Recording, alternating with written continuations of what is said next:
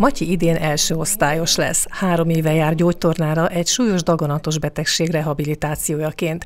Segítség nélkül is ügyesen elvégzi a gyakorlatokat, azonban ez nem mindig volt így. Betegségéből adódóan mozdulni sem tudott. Ez a mostani állapota a csodával határos. A gyógyszeres kezelés az annyira aktív volt, agresszív volt, hogy annak a mellékhatása is, minden gyógyszernek van mellékhatása ennek is, és azt láttuk, hogy igenis szükséges a gyerekeknek a rehabilitációja, a gyógytorna, a, és ugyanúgy a pszichés támogatás is, hiszen itt a szülők, nagyomák is, tehát mindenki annyira, az egész család, hirtelen testvérek megviselődnek, hogy igenis ezzel foglalkoznunk kell, ez egy komoly olyan tényező, amit ha nem foglalkozunk vele, az rontja a gyereknek a további életét, életvitelét, és ugye hogyan kerül be a közéletbe,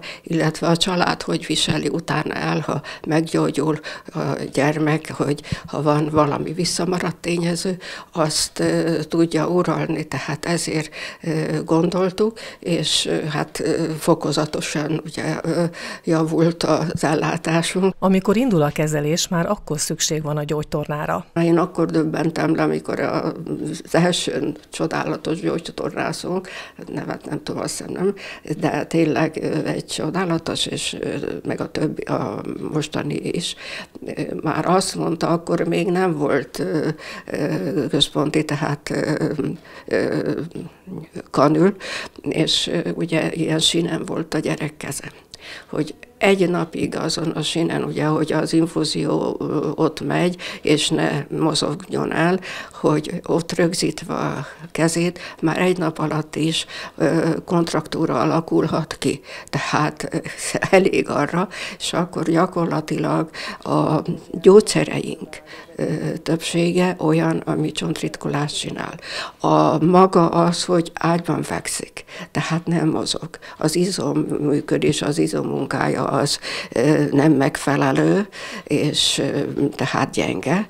A, ugyanakkor tényleg a gyógyszerek csontritkulást okoznak sajnos, már indulásnál, ezért már az első nap mint a pszichológus, pszichiáter, de a gyógytornász is ott kell, hogy legyen az indulásnál, ahogy megindul a kezelés, és, és ez jó is, mert a gyerek egyszerre, amikor egy kicsit jobban van, mozog. Tehát a mozgását irányítani, meg hát gyakorlatilag van csont, tumoros, van agytumoros, aki lebénul, tehát ezekkel a gyerekekkel akkor is kell foglalkozni, amikor indul a kezelés.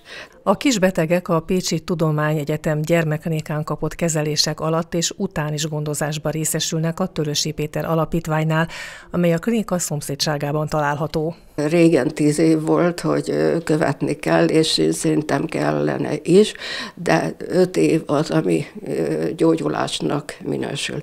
Most öt évig mindenképpen követni kell a gyerekeket, a mellékhatások, a késői, stb. mellékhatások miatt, tehát meg hát kezelés alatt is, hogyha a vérkép ellenőrzés szükséges a kezelésnek a mellékhatásokat, ezért járnak ide a gondozóba a gyerekek. A beteg és gyógyuló gyermekek foglalkozásokban is részesülnek, szórakozhatnak, játszhatnak állapotuknak megfelelően szakemberek segítségével.